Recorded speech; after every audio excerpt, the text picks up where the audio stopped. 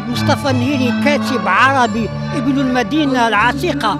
أصر أن أؤكد حضوري كلما صادفتني آه، حادثة اجتماعية أو حدث سياسي. وقد كتبت عشرة كتب تنويها بالفكر العربي التقدمي. وحاربت الخرافات ومن الخرافات المستبدة النظام العتيق المخزني الذي يجب أن يتغير في عقليته وفي مؤسسته وفي العاملين في قوقعته الاسترزاقية المهم على الشعب كذلك أن يؤهل أبنائه ويعلمهم ولا ينتظر الصدقات فقط.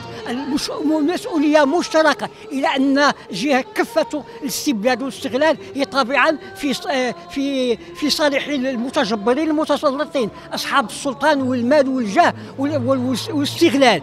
يجب أن يأخذ المجتمع مسؤوليته بتعليم أبنائه بالحضور السياسي بالاحتجاج بالأعمال المدنية الحضارية وأن يواظب عليها وأن لا ينتظر المناسبات وأن يكون هو مسؤولا شخصيا عن نظره للواقع الاجتماعي والاقتصادي.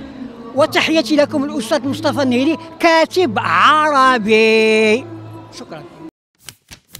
قبل ما تخرجوا ما تنساوش تابوناو في la chaîne يوتيوب وتبارطاجيو la vidéo مع صحابكم ومواقع التواصل الاجتماعي ما تنساوش ديروا j'aime وتضغطوا على الجرس باش يوصلكم جديد ديالنا